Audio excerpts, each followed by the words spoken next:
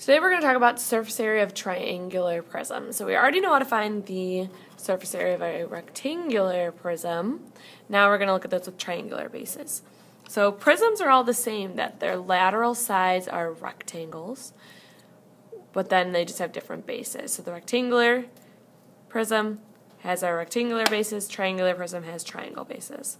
So since a triangle has three sides, we should have three lateral faces and then our two triangular bases. So the first thing I'm going to do is I'm just going to identify the three side lengths in my triangle.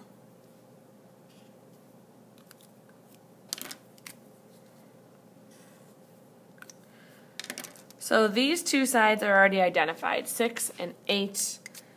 This side right here doesn't have a measure, but it's just going to be the same as the one on the opposite side. So it's a 6, 8 by 10. Well, in a triangular prism, we have three lateral faces, and the base lengths of those are going to be the three side lengths. So our 6 by 8 by 10.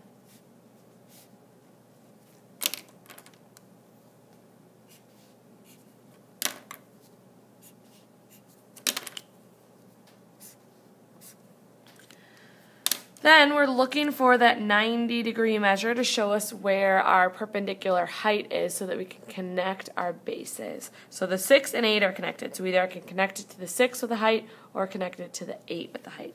I'm going to connect it right here, which means we have a base of 8, height of 6. It's going to be the same on the opposite side. Base of 8, height of 6. And then the last part is identifying the height or depth of the prism, which is the length connecting the two triangles to each other. In this case, it is 15. So, now we've got all of the measures on our triangular prism. We can find the surface area.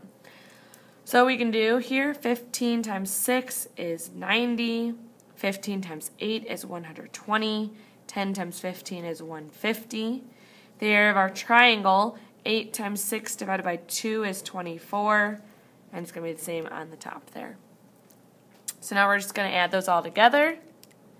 150 plus 120 plus 90 plus 24 and 24 gives us a total surface area of 408 inches squared.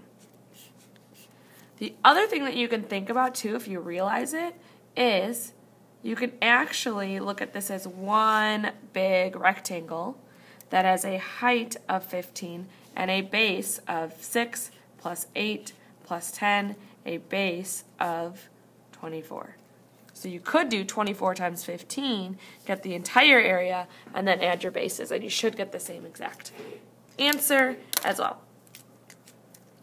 All right, number two. Again, first thing I'm going to do is I'm going to identify my three side lengths.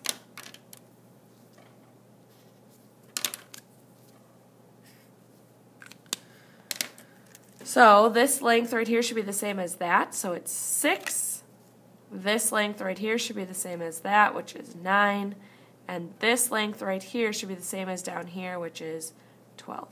So if I'm drawing out my net, should be 6 by 9 by 12.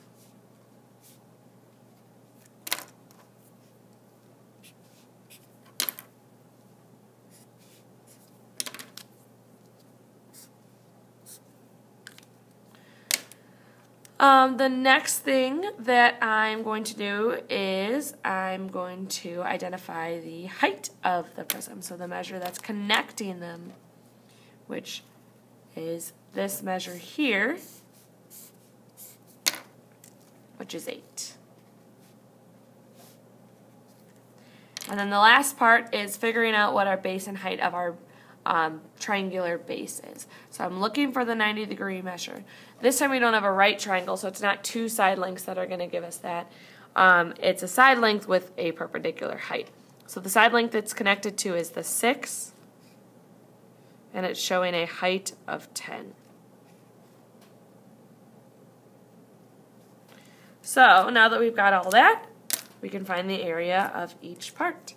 Here, 6 by 8 is 48. 8 by 9 is 72. 12 by 8 is 96. For this triangle, base times height divided by 2 is 30 for both of these. So if we add those all up, we get a total surface area of 276 meters squared. So again, you could look at this and say, I'm going to look at this whole entire rectangle that has a base of 6 plus 9 is 15 plus 12 is 27 times our height of 8. If we did 27 times 8, we'd get 216. And then you could look at your triangles. You're doing base times height divided by 2, and then you're multiplying by 2 because there's two of them.